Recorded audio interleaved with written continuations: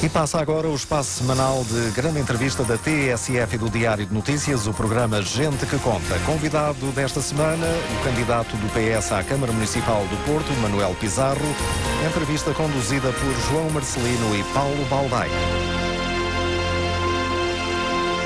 Militante do Partido Socialista, entrou na vida pública pela Assembleia da Junta de Freguesia de Ramalde. Chegou a vereador, sem pelour da Câmara do Porto, foi secretário de Estado da Saúde, é médico, deputado na Assembleia da República e agora candidato do Partido Socialista à presidência da Câmara Municipal do Porto. Bom dia, Dr. Manuel Pizarro. Bom dia, é um prazer estar aqui perante o vosso auditório. Bom dia. Como é que vê esta entrada em cena de Nuno Cardoso, candidato também à presidência, à presidência do, do, do, da Câmara Municipal? Uh, estabelece alguma relação entre este aparecimento súbito e a recente sondagem do Jornal Notícias? Bem, há pelo menos uma relação temporal. É? O candidato aparece imediatamente a seguir a essa sondagem, o que me faz pensar, ainda por cima conhecidas as relações que ele hoje mantém com a gestão da Câmara Municipal de Gaia, que há aqui uma, uma relação que é, aliás, muito desagradável de um ponto de vista que eu quero realçar, que tem a ver com a desconfiança que as pessoas têm hoje em relação à política. Eu acho que isso é muito exponenciado por comportamentos como este, que não são comportamentos claros. não é à última da hora, há três meses, umas eleições, que alguém tem um impulso súbito para ser candidato. As candidaturas com partidos ou sem partidos, eu respeito as candidaturas independentes, constroem-se com projetos de cidadania, não podem ser projetos de poder pessoal. Está-me está, está a dizer, uh, a tentar dizer que uh, Nuno Cardoso é um candidato fabricado por Luís Filipe Neves? Não sei, eu não sei se é, mas parece. E na política isso tem muita relevância. E o facto de a sondagem do Jornal de Notícias ter dado uh, Luís Filipe Menezes, como se previa, uh, na frente com 33% de intenções de voto, mas logo uh, muito próximo estar Manuel Pizarro e Rui Moreira, acha que isso terá contribuído para fazer aparecer um candidato à última hora? Sabe que nas sondagens uh, o que é muito relevante, dizem, diz quem conhece tecnicamente esse, esse assunto das sondagens, são as tendências. E a tendência é uma tendência clara. Há um decréscimo de sondagem para sondagem do Dr. Menezes, que era uh, apresentado por ele próprio como um vencedor antecipado e que me viria fazer ao Porto uma espécie de cavalgada heroica que não tinha opositor.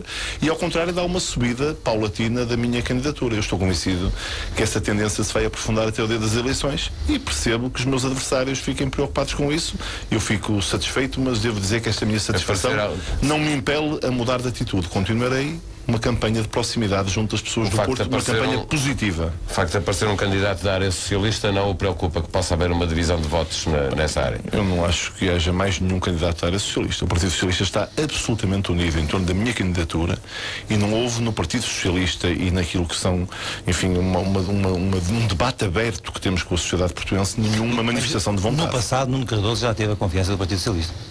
Nuno Cardoso foi até presidente em substituição do Dr. Fernando. Gomes pelo Partido Socialista, mas depois disso já se encarregou de se afastar muito dessa visão que nós temos do mundo. Como é que, como é que olhou nessa sondagem para o seu resultado? É um resultado que, apesar de ser relativamente bom, eh, se assim se pode dizer, face às expectativas, é abaixo daquilo que é normalmente a, eh, a, a votação de, do, do, Partido Socialista Sim. do Porto. Como é que olhou para esses resultados? A tendência é positiva. Eu tinha subido 7% em relação à última sondagem que tinha sido divulgada pelo mesmo, pelo mesmo jornal. O resultado é ainda insuficiente porque a minha ambição é ganhar as eleições e para isso tenho que ainda subir mais um pouco acho que é o trabalho que estamos a fazer, que tem a ver com uma coisa que todos reconhecem e que eu próprio reconheço. Eu tenho menor notoriedade que outros candidatos. E eu acho que isso exige, para isso é que serve uma campanha eleitoral, é para que eu me dê a conhecer e para que dê a conhecer aos cidadãos do Porto as minhas propostas. Há uma coisa que me dá muita alegria. Junto daquelas pessoas de, de quem eu sou conhecido, eu tenho uma enorme votação e é essa a minha ambição. Quando me tornar conhecido de mais cidadãos do Porto, eu seguramente estarei em condições de ganhar as eleições. Acha que Luís Filipe Menezes, cuja candidatura eh, depende agora de, de, uma decisão do Tribunal Constitucional, eh, que essa candidatura se vai mesmo efetivar e já agora eh, qual é a sua interpretação da lei de limitação de mandatos? Não faço a mínima ideia se vai ou não concretizar, devo dizer a esse respeito, que esse é um assunto dos tribunais, eu tenho total respeito pelas decisões dos tribunais, mas a mim satisfaz muito não estar envolvido nesse problema. É, eu estou completamente à vontade para concentrar toda a minha iniciativa e toda a minha disponibilidade na construção de um projeto participado para a cidade do Porto. Mas qual é a sua, mas qual é a sua interpretação da lei? Seja, eu acho que a lei da limitação de mandatos, para ser séria, tem que ser uma limitação absoluta. Uh, mas, francamente, não quero interferir naquela que é uma decisão dos tribunais, sobretudo porque, neste caso concreto, eu sou participante de uma, de uma circunstância concreta em que sou uh, parte ativa nessa decisão. Eu acho que tem que ser os tribunais a decidir. E já agora acha que uh, Luís Filipe Menezes tem perdido intenções de voto nas sondagens, uh, que poderá ser esse, essa a razão, o facto de, ser, de estar permanentemente envolvido numa discussão sobre a legitimidade da sua candidatura? Eu tenho a expectativa de que tenham sido outros candidatos, nomeadamente eu, que temos ganho esse espaço. E tenho a convicção de que estas eleições no Porto vão pôr em confronto dois projetos muito distintos. E que o meu projeto político eh, é o projeto mais adequado para o, a cidade do século XXI e para a região do século XXI. Dois ou três? Que é o. Sim, enfim, eu, eu olho com simpatia a candidatura de, de, um cidadão independente, mas que é um cidadão da, da área política do PSD e do CDS. Aliás, tem o apoio de um destes partidos, mas que é, é um partido mas, do mas, governo. Mas a proposta política de, de Luís Filipe Menezes não parece ter nada a ver com a de Rui Moreira, ou seja, sendo da mesma área política, parecem dois projetos diferentes. Para si, sim ou não? Sim, mas acho que não são suficientemente diferenciadores em relação ao meu projeto. Isto é, o meu projeto é que é muito distinto do projeto deles. E é um projeto muito assente numa ideia de prioridade às pessoas. E prioridade às pessoas no mundo atual quer dizer, sobretudo, prioridade à economia, porque da economia depende do emprego, e prioridade à coesão social, que não é independente da economia e do emprego. E, são como é que se faz isso do ponto de vista local? Estando ah, o país como está, com a governação eh, PSD-CDS, como é que um Presidente da Câmara pode mudar isso uh, neste território? Eu acho que pode mudar porque existe hoje uma enorme competitividade territorial, que aliás não é um fenómeno nacional, é um fenómeno internacional e as cidades têm não só a possibilidade, mas como a obrigação de competir pela atração de atividade económica. Eu acho que no caso concreto da cidade do Porto há uma visão de mais curto prazo que está voltada para o turismo, para o comércio muito relacionado com o turismo e para a reabilitação urbana. Eu tenho a esse respeito ideias muito claras isto é um, são atividades fortemente indutoras de emprego e de crescimento económico e é uma visão de mais médio prazo que tem a ver com o aprofundamento da relação com o ensino superior, com a Universidade do Porto, com o Politécnico. O Porto tem uma enorme concentração de capacidade de inovação nestes, nestes domínios e a Câmara pode ajudar muito como catalisador à criação de condições para que daqui nasça uma nova economia e que essa nova economia tenha vantagens em instalar-se no Porto. Bem, e quando diz no Porto, falo da área metropolitana, não falo apenas da cidade. Sempre a falar de uh, consequências a médio e longo prazo, nunca no, no, no, imediato. Sim, algumas delas muito no imediato. Está a falar da requalificação urbana? Um propósito da requalificação urbana e de propostas associadas àquilo que pode ser a melhoria da qualidade de vida dos cidadãos. O meu projeto, que, que é mesmo minimalista, alguns acusaram disto, mas é para ser minimalista, de reabilitação do mercado do bolhão, sem maluquices, é sem transformar o mercado do bolhão numa espécie de centro comercial eh, com um desenho antigo, que é um, um projeto com um curto investimento, mas que recupera o bolhão, cria 300 a 400 novos postos de trabalho. O meu projeto para criar pequenas empresas de inserção que, recrutando para os seus postos de trabalho pessoas que estão hoje a receber rendimento social de inserção ou a receber subsídio de desemprego, faça com que haja jardins bonitos, bem arranjados nos bairros camarários, e nos bairros camarários a soma dos jardins são 70 hectares, é um parque da cidade que está ao abandono nos bairros camarários, eh, permite criar entre 120 a 150 postos de trabalho. Portanto, há um conjunto de iniciativas concretas que criarão postos de trabalho a partir da dinamização de atividade que é útil à cidade e aos cidadãos e que não aumenta a despesa pública do município. E quanto à política fiscal, uh, uh, ouvimos esta semana o, o atual Presidente da Câmara anunciar que ia propor uma descida de 10% no IMI, eh, ter contas eh, boas eh, permite a uma Câmara poder jogar com, com a fiscalidade. Como é que olhou para esta proposta que foi anunciada por Rui Rio, de descer a 10% do IMI? É uma proposta favorável que só peca por tardia. O Partido Socialista propôs na Câmara e na Assembleia Municipal, quando foi discutido o orçamento para 2013, uma redução do IMI para 0,35. Agora a redução é feita para 0,36, enfim, é muito próximo desse valor. Eu acho que nós temos até que estudar uh, uma perspectiva mais audaciosa, porque o que acontece é que a reavaliação das casas para, para efeitos do pagamento deste imposto que tem sido feita conduziu a um tal aumento da, do encargo fiscal sobre as famílias que provavelmente a margem de manobra é maior e nós devemos ambicionar uma baixa do imposto para o mínimo que é legalmente permitido, que é o 0,3 e é esse, essa proposta que estamos a estudar para o futuro, sem deixarmos de acompanhar esta, esta medida transitória. Aliás, o próprio Presidente da Câmara disse que ainda havia folga para se ir uh, mais longe e é essa folga que nós pretendemos uh, utilizar em favor de, do Porto como um cenário mais atrativo para as pessoas. Já, já que falou de, de, de Rui Rio, uh, que balanço faz deste, deste triplo mandato que agora está a chegar ao fim? Eu acho que o balanço, sem ter de, sem deixar de integrar elementos positivos, entre os quais o facto da Câmara fazer os seus pagamentos a tempo e horas, eu não acho que isso seja nada secundário, acho que isso é muito relevante. E é, é um exemplo no país até. Desse ponto de vista é um exemplo, mas é um exemplo acompanhado por dezenas de outros municípios. O município do Porto paga as contas em média abaixo de 20 dias, mas há muitos municípios que pagam uh, nesse, nesse prazo, até há quem pague em menos tempo. Portanto, não é exemplo único, é um exemplo mais falado em função da, da dimensão real e simbólica do Porto, mas não é exemplo único. Mas eu quero dizer que e globalmente... em função de, de, da herança que o Rio tinha recebido uh, na Câmara do Porto. Eu acho que a herança não era assim tão má. Em termos a herança não era assim. Mesmo a herança em matéria financeira não era assim tão má. A herança tinha sido, houve ali um, um, desequilíbrio relacionado com as obras quer da Porto 2001, quer com as obras relacionadas com o Euro uh, eh, 2004, mas acho que estes são casos concretos em que a cidade beneficiou muito dessas obras. Mas, mas, mas, tenho... mas, ia, mas ia acabar de fazer o balanço do que é que pensava Eu acho que o balanço globalmente nós temos que o considerar muito negativo. Isto é, hoje a cidade do Porto é uma cidade mais pobre, é uma cidade mais desigual é uma cidade profundamente desestruturada do, do, ponto de vista urbano.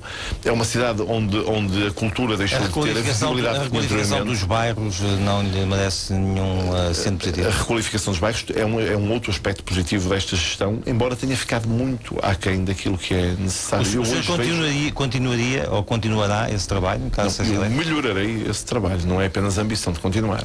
Porque se visitar comigo os bairros do Porto, e eu sou tenho visitado muito intensamente os bairros do Porto e eu verifico muitos casos em que a requalificação exterior das casas não correspondeu à melhoria das condições de vida das pessoas que estão no interior das casas. Isto é, em muitos casos, as casas continuam cheias de infiltrações de umidade, cheias de problemas de estruturais que eu acho que são suscetíveis de ser Acompanha esta reivindicação coletiva de, maior, de muita gente na cidade do Porto em relação às verbas que faltam, que faltam receber uh, ou não?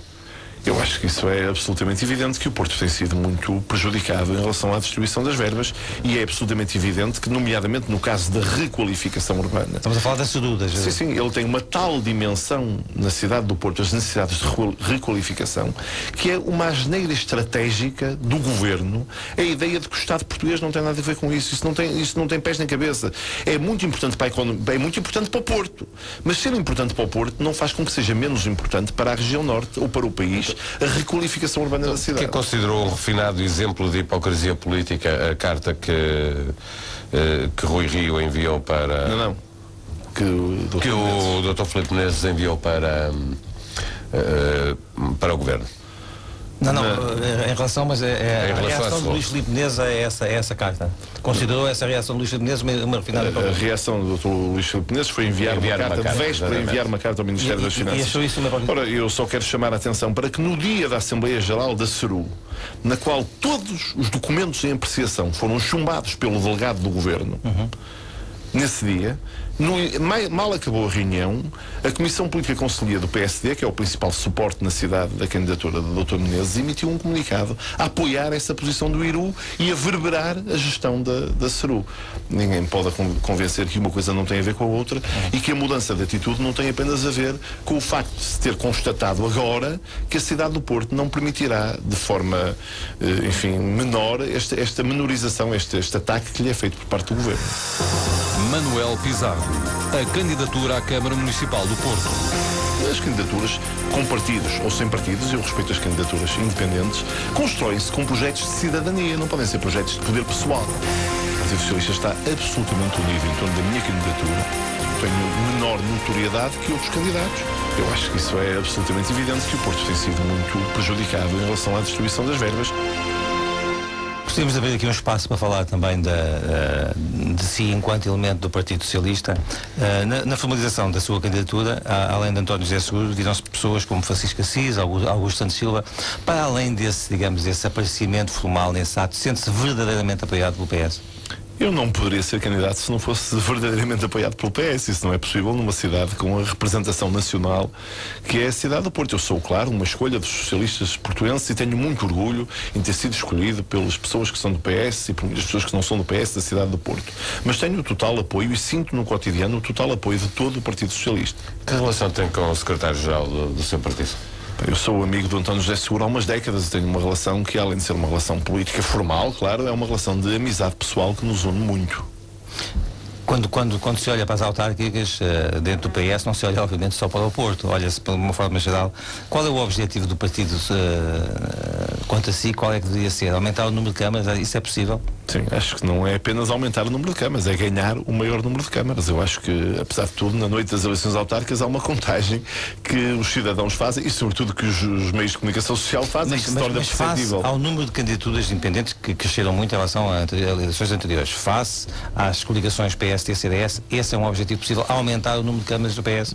Ter um maior número de câmaras em relação ao PS-CDS. Acho que esse objetivo é possível, depende, porque as candidaturas independentes perturbarão algum espaço do Partido Socialista, mas também perturbarão o espaço do PSD-CDS. Por exemplo, em Sintra é o, é o PSD que está em causa com a candidatura independente e não o PS. Uh, a política é muito gestão das expectativas. Não acha que se está a gerar uh, uma expectativa de que o PS terá uma, uma vitória de, uh, com uma dimensão significativa nas autárquicas e que isso pode vir a prejudicar o Partido Socialista na leitura que se fizer nessa noite sobre quem ganhou e quem perdeu? Eu aqui quero misturar a componente nacional com a componente local. Eu estou muito convencido que o Partido Socialista vai vencer as eleições no Porto e que se contribuirá muito para uma leitura nacional de uma grande vitória do Partido Socialista. Como é que o senhor olhou para esta uh, recente iniciativa do Dr. Mário Soares de tentar uh, aproximar, através de uma conferência que se chamou Libertar Portugal da Austeridade, forças que têm estado desavindas, forças uh, sociais, forças sindicais, forças políticas, neste caso o PCP e o Bloco de Esquerda. acha que é uma iniciativa com alguma utilidade ou é uma utopia que se esgota ou que se esgotou naquele, naquele conclave? Eu acho que a ideia da aproximação das forças de esquerda, sobretudo numa circunstância tão dramática como aquela que o país vive, com uma governação tão insensível, tão brutal do ponto de vista social como é esta que temos neste momento, é uma aspiração louvável. Na prática, esse objetivo revela-se muito difícil. Eu próprio fiz no Porto um grande esforço para que houvesse uma coligação de esquerda e, infelizmente, nem o PCP nem o Bloco de Esquerda estiveram disponíveis para essa coligação. O Bloco de Esquerda, com, apesar de tudo, com uma atitude eh, genérica mais favorável, mas quando se chega ao momento de nós nos podemos sentar a uma mesa e construir um programa comum, a verdade é que vem ao de cima todos os médios e grandes sectarismos que, ao longo da história, dividiram a, a visão de esquerda sobre o mundo. Eu acho que é pena para as pessoas que que, têm, que podiam ser beneficiadas com esta, com esta aproximação da, da esquerda, mas eu tenho que, que, concluir que a esquerda em Portugal, a esquerda com aspiração a influir na vida das pessoas, acaba por ser o Partido Socialista e o esforço do Partido Socialista para se abrir à sociedade. Portanto, não vê, não, não, não vê que naquele campo esteja uh, eventualmente uma, uma futuro, um futuro parceiro para uma, uma, uma, maioria de governo com o PS? Só se ocorrerem profundas mudanças na forma de, dos outros partidos de esquerda avaliarem a governação. Este encontro organizado por Mário Soares eh, poderia servir para condicionar a liderança socialista como aconteceu em 94 quando António Guterres eh, se preparava para disputar eleições e Mário Soares organizou o Congresso de Portugal que fez. Eu vejo a, a, participação do Dr. Mário Soares sempre como um esforço para ajudar a liderança socialista e não para a condicionar. E acho que foi isso que ele procurou fazer e acho que eu acho que é absolutamente notável que alguém com a idade e o estatuto do Dr. Mário Soares mantenha aquela combatividade e aquela capacidade de querer influir no cotidiano. Eu acho isso é a verdade é que nem em 94, nem neste encontro o, o, lá foram os líderes socialistas. António Guterres na altura saiu para o estrangeiro e António José Seguro também arranjou o que fazer desta vez. Porque, porventura, o Partido Socialista, quando está no, na disputa concreta de, do espaço político, tem outras uh, responsabilidades que, que, condicionam essa forma de aparecimento, mas há muitas pessoas do Partido Socialista que estiveram presentes nesse encontro e que se associam a esse, a esse esforço, embora eu deva dizer que, do meu ponto de vista pessoal, a minha visão sobre a organização do sistema político é um pouco mais moderada do que aquela que foi transmitida nesse encontro. José Sócrates, a cujo governo pertenceu, ainda é um fantasma que hoje em dia assola o Partido Socialista ou essa fase está terminada? Acho que, que como fantasma não assola Partido Socialista nenhum. Acho que voltou a ser uma, uma voz uh, ouvida ou que se procura fazer ouvir na sociedade portuguesa. E aquilo que eu tenho notado, até com alguma surpresa, porque eu não ignoro que há hoje ainda, que, que durante muitos anos, muito tempo persistiu uma certa hostilidade em relação àquilo que foram, sobretudo, os últimos tempos da governação de José Sócrates, governo do qual eu fiz parte, como já realçou. A verdade é que eu verifico que há hoje cada vez mais portugueses desejosos de ouvirem essa explicação e até ouvi recentemente gente ligada a outras forças políticas, estou-me a lembrar do António Lourdes Xavier ou do Pacheco Pereira, corroborarem algumas das análises de José Sócrates sobre uh, alguns, dos, de, de, alguns dos aspectos da vida política que nos conduziram à situação mas, que hoje vivemos. Mas na parte que diz respeito ao Partido Socialista, o Partido Socialista convive, convive bem com o regresso uh, mediático do seu anterior líder? Eu acho que, sobretudo, desde o último Congresso, que plasmou uma absoluta unidade, uma, uma muito maioritária unidade, e acho que é uma unidade sincera, uma unidade de, que, que, foi traduzida por eh, uma intervenção política livre de várias das grandes figuras do Partido Socialista. Esse claro. Congresso acabou com a tendência António Costa? Eu, isso nunca se pode, nunca existiu uma tendência a António Costa para que se possa acabar com António Costa. O António Costa é uma grande figura da vida política portuguesa, é uma grande figura. mais das pessoas que estavam à volta dele do que dele próprio. Eu acho que há muitas pessoas do Partido Socialista que consideram o António Costa uma grande figura e uma reserva para o futuro. Agora, nada disto nos inibe de, de termos uma enorme, um, hoje uma enorme unidade construída em torno do atual secretário-geral. Acho que é um problema que não se coloca no médio prazo. Logo, logo no princípio do próximo ano vêm as eleições uh, europeias, lá, abril, maio, por aí. Um, Pode ser que antes haja eleições legislativas. José Sócrates, José Sócrates dava um bom cabeça de lista a umas eleições europeias. Eu acho que não, não faz nenhum sentido que o José Sócrates volte hoje à vida política ativa. Manuel Pizarro, o Partido Socialista. Eu estou muito convencido que o Partido Socialista vai vencer as eleições no Porto e que isso contribuirá muito para uma leitura nacional de uma grande vitória do Partido Socialista. Eu vejo a, a participação do. Mário Soares sempre como um esforço para ajudar a liderança socialista, não para a condicionar.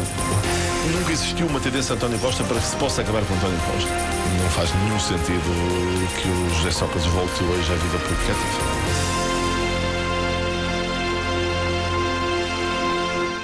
Que balanço faz uh, destes dois anos da coligação governamental? Numa síntese, uh, é que faz? É uma desgraça que se abateu sobre o país.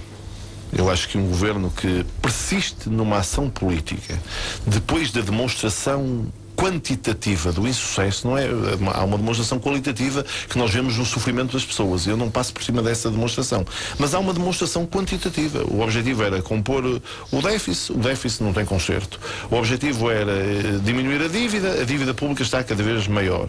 O objetivo era não degradar a situação social e económica, a situação social e económica atingiu um, um ponto de degradação absoluto. E a única ideia do governo é duplicar, triplicar, aumentar a dose da mesma política, da mesma obsessão autoritária mas não é verdade também que, é, uma que, coisa que um dos objetivos era uh, conseguir voltar aos mercados com juros uh, que sejam possíveis pagar, uh, os tais juros abaixo de 7%, como dizia o anterior ministro. O, o regresso aos mercados, apesar da sua relevância, tem que ser lido como instrumental.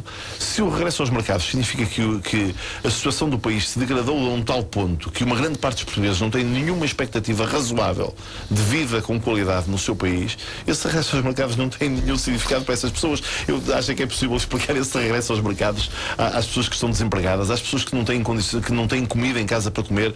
Eu hoje almocei numa numa instituição de solidariedade do Porto e as pessoas contaram das, de cada vez mais, mais pessoas que aparecem nas, nas chamadas sopas dos pobres, nas iniciativas para comer, porque não tem, pessoas da classe média que não têm dinheiro para comer em casa. Eu não sei qual é o que significado para essas pessoas tem o regresso aos mercados. Eu tenho visto, uh, ou tenho ouvido uh, a linguagem do governo, uh, apesar de tudo, a mudar um pouco.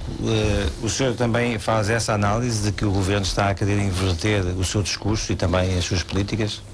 Eu acho que é uma mudança que só se vê mesmo no discurso. Porque não, ninguém vê ninguém no governo a mudar nada de Mas substancial em, em, na ação política. Em, em, sede do, do, próximo orçamento para 2014 e em função de, também de algumas alterações que possam vir a acontecer brevemente na Europa e elas estão a começar a ser discutidas, pensa ou não, acredita ou não que, 2000, que em outubro vai estar a discutir um outro, um outro tipo de orçamento? João Marcelino, se isto fosse um, um, o domínio da racionalidade essa, essa é a resposta que a sua pergunta conduz era uma resposta lógica, mas isto não é o domínio da, da racionalidade.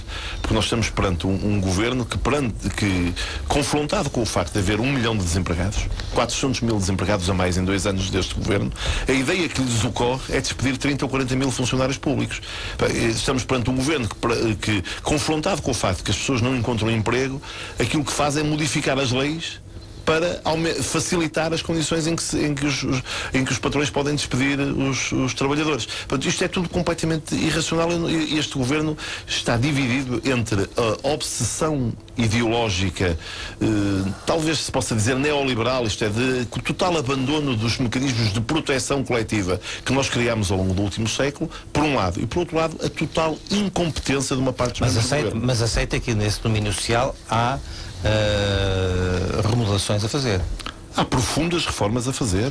Mas onde estava o PSD quando no anterior governo quis fazer reformas, por exemplo, no setor da saúde, onde eu fiz parte?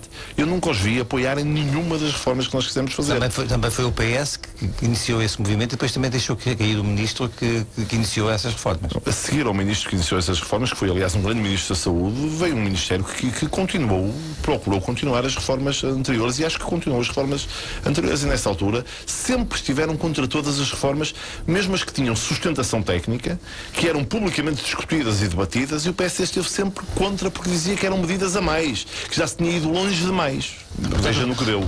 Para resumir, o senhor não acredita que este, este governo chega ao final da legislatura? Eu acho que não acredito eu, nem, nem, nem, nem acredita nenhum português que analise seriamente quais são as condições em que se governa. Mas como é que isso pode acontecer se o Presidente da República entende que eleições agora não seriam boas para o país? Por outro lado, há uma maioria que ainda é a maioria de facto no Parlamento, como é que se pode chegar a, a eleições antecipadas num quadro destes? O Governo tem neste momento toda a legitimidade formal mas já está muito longe de ter a opinião maioritária do país. E eu suspeito que na noite das eleições, com a vitória do Partido Socialista no Porto, vão acontecer coisas muito importantes na vida política. Acredita que se vai repetir a teoria do pântano uh, e que o governo vai, por sua própria iniciativa, desfazer a coligação? Eu acredito que a demonstração eleitoral autárquica, embora eu reconheça que nas eleições autárquicas há dinâmicas que não são exatamente as dinâmicas nacionais, mas há também uma repercussão da situação nacional. Sobretudo, nos grandes centros. sobretudo nos grandes centros. Que a demonstração nas eleições autárquicas da profunda rejeição que esta política do governo hoje gera na maior parte dos cidadãos vai ter um enorme impacto político. Mas isso remete-nos precisamente para uh, o tempo das próximas eleições. Elas deveriam ser em outubro, como sabe, é, o, é ao governo que cabe marcar as eleições. Há quem diga que o governo se, se prepara para as marcar para final de setembro, ou seja, para que as eleições decorram antes, antes do final, do, do eh, antes da discussão do Orçamento de Estado. O que é que pensa disso? Se, ou se tem alguma informação disto? O Governo já fez essa, já, já alinhou nessa, aliás, nessa altura não o Governo, mas o PSD eh, e o CDS fizeram essa experiência um bocadinho saloia na marcação das eleições regionais nos Açores. Bom, os resultados estão à vista. Não adianta de nada tentar fazer dos eleitores parvos, porque os eleitores compreendem muito bem as dinâmicas que estão aí subjacentes. O normal é que estas eleições decorram no início de outubro. É isso que faz os quatro anos de mandato dos atuais órgãos autárquicos. Foi assim que aconteceu em 2005 e foi assim que aconteceu em 2009. Mas sabe que pode não ser assim? Sei que sim. Se agora o Governo tentar utilizar o seu próprio poder de forma desequilibrada em favor da sua agenda político-partidária e não em favor daquilo que é a normalidade do processo democrático, isso também será objeto de julgamento pelos eleitores que compreendem muito bem essa dinâmica e percebem muito bem o que é que o Governo está a tentar esconder por trás dessa decisão. A, contestação ao Governo ter subido de tom, vai haver uma greve geral que une uh, o GT à CGTP. Uh, como é que vê, uh, acha que contribui esta radicalização crescente e evidente na sociedade portuguesa, vai contribuir para aquilo que é a sua expectativa de o Governo não cumprir o mandato? Eu, eu, eu, eu, como cidadão, vejo com preocupação a radicalização da sociedade portuguesa. Agora, eu não acho que, tenham, que sejam os sindicatos, que sejam os que estão, digamos assim, na moda baixo, que mais contribuem para radicalizar a sociedade portuguesa. O Parlamento vai discutir dentro de poucos dias uma proposta de lei do Governo que eh, quer obrigar a que todas as entidades públicas, nomeadamente os municípios, publiquem na internet uma lista dos beneficiários dos apoios sociais. Isto é, por exemplo, uma lista das pessoas que no Porto têm casas nos bairros sociais e agora têm que publicar uma lista dizendo estes são os pobres, aqueles a quem nós estamos a dar um benefício, uma coisa a que eles não têm direito, mas que nós estamos a dar um benefício que é a casa social, fazer listas, discriminar as pessoas em função das suas condições económicas. Isso é um governo que está a declarar guerra a uma parte significativa do Se vier a ser Presidente da Câmara, não publico, publica? Não publico lista nenhuma. Fica já claro, seja qual for a penalização, eu não publico listas das pessoas que recebem uh, benefícios sociais. Eu acho que os benefícios sociais, como tudo o que é dado pelo Estado, deve ser sujeito a escrutínio, deve haver uh, inspeções, deve haver rigor na atribuição dos benefícios sociais. Recuso completamente a ideia da discriminação e da estigmatização daqueles que recebem uh, apoios sociais. Acho que isso é uma ideia totalitária, quase fascista, sobre a organização do mundo. Para, para terminarmos esta parte, parte, da entrevista dedicada à atualidade nacional, como é que o senhor olha para, uh, para a função presidencial? É, o Presidente da República é hoje um fator de união ou divergência entre os portugueses? É que no Partido Socialista uh, não se percebe muito bem qual é que é a posição dominante face ao Presidente da República. Sabe que eu assisti ao discurso de tomada de posse deste segundo mandato do professor Cavaco Silva e fiquei nesse dia profundamente desgostoso e profundamente impressionado. Eu acho que o Sr. Presidente da República fez uma opção que é uma opção muito prejudicial a ele próprio, à dignidade da função presidencial e ao país, que é a função de querer fazer um ajuste de contas em relação ao, passado, nesse caso, em relação ao passado daquele processo eleitoral presidencial. E eu acho que, que esse pecado original marcou de forma provavelmente inapagável este, este segundo mandato em que o Sr. Presidente não tem sido capaz de ser o árbitro acima das disputas uh, nacionais e, e, e, deixou de ser um, um referencial de união do país e por isso é que cada vez que o Sr. Presidente da República hoje fala gera um coro de protestos de um lado ao outro e não, e não, e não gera a necessária uh, coesão nacional que a, que a função presidencial pressupõe. Manuel Pizarro. A atualidade nacional nós estamos perante um, um, governo que, perante, que, confrontado com o facto de haver um milhão de desempregados, 400 mil desempregados a mais em dois anos deste governo, a ideia que lhes ocorre é despedir 30 ou 40 mil funcionários públicos. Mas onde estava o PSD quando no anterior governo quis fazer reformas, por exemplo, no setor da saúde, onde eu fiz parte? Não adianta de nada tentar fazer dos eleitores parvos. Fica já claro, seja qual for a penalização, eu não publico listas das pessoas que recebem benefícios sociais. É o menos conhecido dos grandes candidatos, daqueles que, que pode chegar à vitória. Uh, vamos agora uh, tentar dá-lo a conhecer uh, aos ouvintes da TSF aos leitores de Diário de Notícias. o que o levou a avançar com esta candidatura? A iniciativa foi sua ou foi do Partido Socialista? A iniciativa foi como não podia deixar ser minha e do Partido Socialista. Esta é uma conjugação de. Mas alguém de deu vontades. o primeiro passo, é o ovo e a galinha. Sim, é muito difícil de saber. Houve muita gente do Partido Socialista que me estimulou, no Partido Socialista e fora do Partido Socialista, que me estimulou a candidatar-me e havia uma vontade de, minha de me candidatar. Eu sou um cidadão do Porto, vivi toda a minha vida na cidade do Porto, estudei nas várias escolas públicas da, da cidade, tenho um percurso profissional feito no Porto, eu sou médico no Hospital São João, tenho um, um enorme orgulho disso, tenho consultório na Baixa do Porto, mesmo junto à Câmara Municipal da cidade e sou desde muito jovem um participante ativo em vários movimentos cívicos, na Associação de Estudantes da minha faculdade, em associações juvenis, em vários movimentos da É um médico que é político ou um político que, que é médico? Sou um médico transitoriamente emprestado à política. Mas continua a exercer? Continuo a exercer medicina, tenho muito orgulho nessa minha atividade médica, porque acho que que é uma atividade que inspira a minha ação política. Há um médico alemão da segunda metade do século XIX, muito conhecido de quem estudou medicina, é claro, um senhor chamado Virchow, que dizia que a política é a medicina em larga escala. E eu gosto de aplicar essa, essa ideia de que através da ação política eu posso levar a ideia de fazer bem às pessoas e de ajudar a que as pessoas sejam mais felizes a uma escala maior e, de, e mais coletiva. Não diga que tem, também tem, faz descontos na, na, no preço das consultas. Não, não, pá, aquilo lá no consultório só há dois preços. Os que pagam pagam e os que não pagam. Há muitos que não pagam, mas não existem preços claro. intermédios. Porque o que nos estava a dizer, quase que, pode, que se pode dizer que a sua especialidade clínica é a política. Não, não, a minha especialidade clínica é a medicina interna, que é a mais abrangente das especialidades, das especialidades médicas, que exige um grande esforço de, enfim, de estudo e de abordagem dos, do, dos doentes e que exige abordar os doentes numa perspectiva global. É assim que eu pretendo abordar os problemas da sociedade portuguesa, é numa perspectiva global. Quando e como começou a sua ligação ao Partido Socialista? Eu, quando era muito jovem, fui militante da Juventude Comunista. Essa é uma parte da minha biografia que eu não renego. Quando... Eu aproximei-me do Partido Socialista porque era muito amigo de um grupo de pessoas que, a certa altura, se candidataram à Junta de Freguesia de Ramalde, que é a minha freguesia no Porto, pelo, pelo Partido Socialista, e que me vieram convidar para candidato independente. Hoje em dia, alguém conhecido dessa, dessa altura? Não, dessa fase do Partido Socialista, não. Depois, mais tarde, eu entrei, eu entrei para esse Que idade é que fui, tinha? Nessa altura já era, tinha acabado o curso, tinha 25 ou 26 anos, tinha acabado o curso e tornei-me membro da Assembleia de Freguesia de Ramalho, como independente, para ajudar à lista do Partido Socialista e para ajudar a uma causa coletiva. Eu era, como já disse, dirigente das associações lá da Freguesia, de uma associação juvenil, fazia teatro no grupo Teatro Amador lá da, da Freguesia, que se chama Conjunto Dramático 26 de Janeiro, enfim, era uma pessoa ligada à vida cívica da Freguesia. E foi mais tarde aproximei-me do Partido Socialista em função dessa ligação a esse, a esse, a esse grupo de pessoas. E depois, eh, enfim, mais tarde fui fazendo um percurso político de, de, de, aproximação ao Partido Socialista que me fez entrar como militante já uns anos depois. É casado? Tem filhos? Sou casado, tenho uma filha de 12 anos. Que tempo é que há para o partido e que tempo é que há para a família? Como é que isso eu, eu devo dizer que a minha filha ora, olha com alguma desconfiança para a exposição política do pai. Acha que, que as coisas estavam mais bem organizadas lá em casa quando o pai era só médico. Mas enfim, eu, eu, eu faço um enorme esforço para conciliar isto da melhor uh, forma possível e não quero utilizar apenas um clichê, mas acho que o tempo não é só a quantidade do tempo, também é a qualidade do tempo. Eu faço, eu se estiver no Porto, coisa que acontece na maior parte dos dias da semana, sou eu que levo a minha filha à escola, na divisão familiar das tarefas sou eu acompanho o ensino de história, ela na maior parte das coisas estuda sozinha. Depois há uma outra coisa que precisa de ajuda, eu sou eu que acompanho o ensino de história e procuro ser um pai o mais próximo possível. Quantos dias é que passa em Lisboa e no Porto?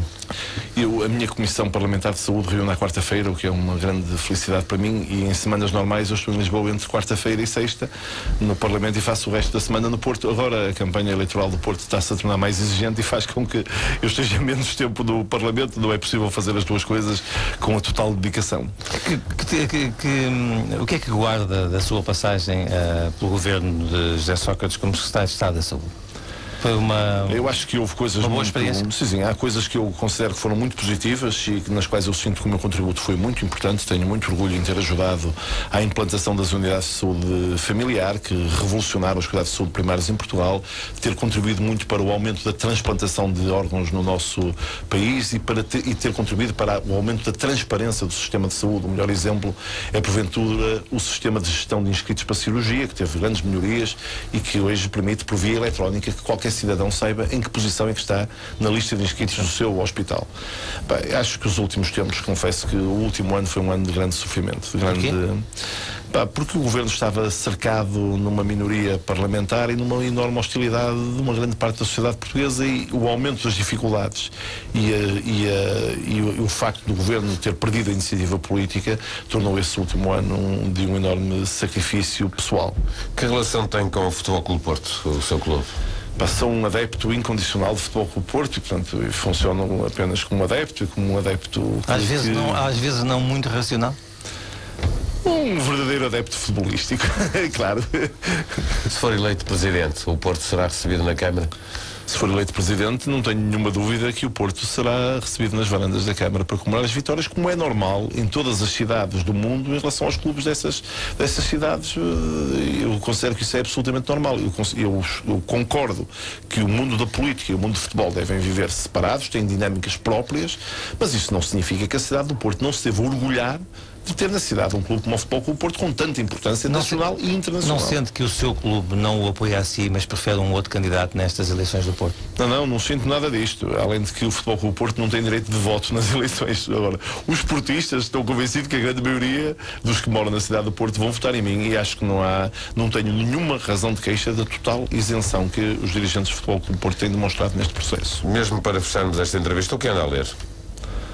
Ah, pois ando a ler umas memórias do Dr. Manuel Coelho dos Santos, um, chamado Quando o Porto Tinha Voz. É um livro de memórias do Dr. Manuel Coelho dos Santos, foi um grande resistente antifascista do Porto, um advogado que tinha escritório na Praça General Alberto Delgado, morreu já muito idoso, há dois ou três anos, e tenho até orgulho de que a última iniciativa política em que ele participou foi promovida por mim e foi uma homenagem à, à doutora Beatriz Cal Brandão.